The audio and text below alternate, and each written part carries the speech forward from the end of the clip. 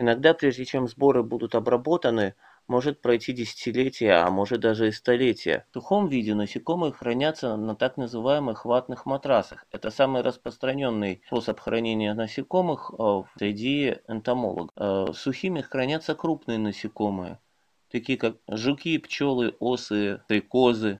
Сначала из листа бумаги вырезается конверт. Я разметил места будущих разрезов, сгибая бумагу.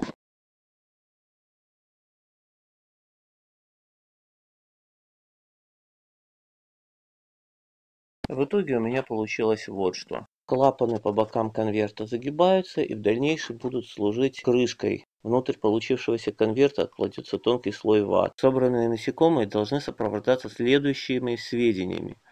Первое – это число сбора. Второе – это время сбора географическая точка, фамилия собравшего, а также обстоятельства, при которых были собраны насекомые. Например, было собрано на листе шиповника, было найдено под камнем, было словлено в ловушку Барбера было словлено на свет и так далее. Э, часто матрасик заполняется не за один день, а за несколько дней, и там оказываются насекомые из разных сборов, из разных дней, из разных мест. Такие разные сборы можно отделить друг от друга просто нитками. При этом на бумажке, которая кладется внутрь матрасика, э, делается схема раскладки насекомых.